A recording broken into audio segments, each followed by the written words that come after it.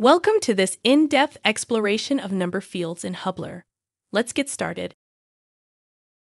Just like single-line text fields, you have the ability to make them mandatory, ensuring that crucial data is consistently captured.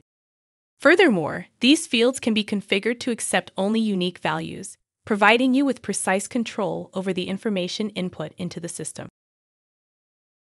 You can define the type of number a field captures, whether it's currency, frequency, or digital storage.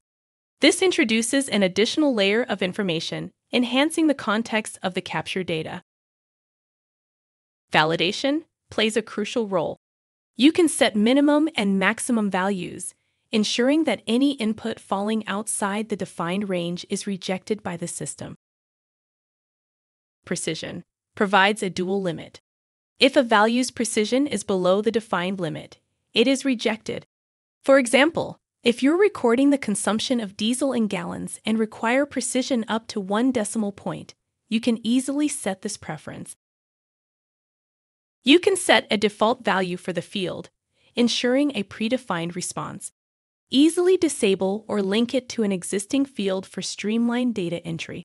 The Visibility Settings feature provides control with logic based on conditions.